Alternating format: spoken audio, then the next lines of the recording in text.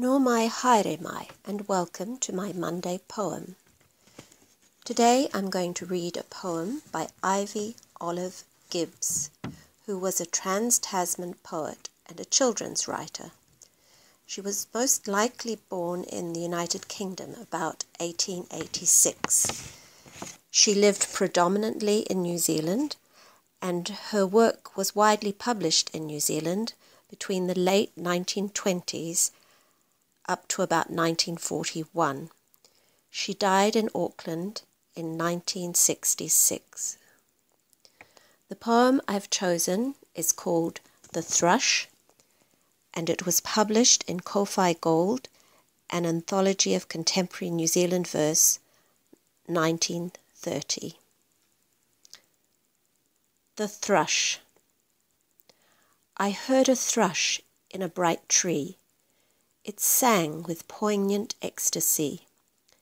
It sang of English fields I've seen oft in my dreams, dew pearled and green, of primroses and daffodils that light the fragrant vales and hills.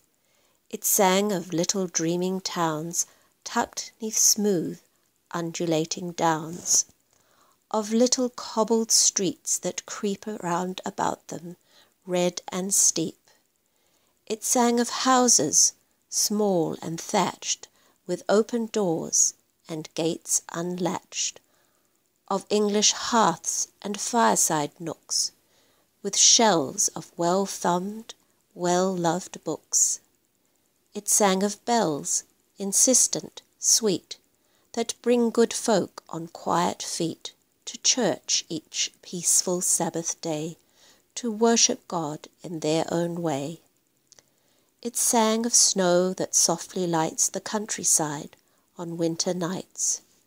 So sweet and strange to me it seemed, though long and often I have dreamed of England, through a songbird's power really to roam one lovely hour through English lanes or English hills, lit up with golden daffodils.